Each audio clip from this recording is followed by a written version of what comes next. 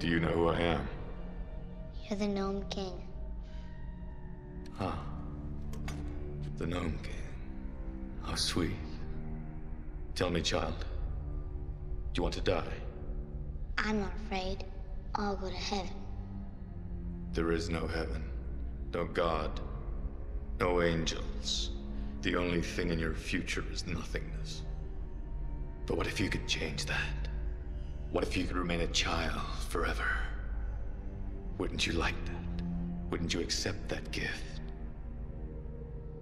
My friends are coming to kill you.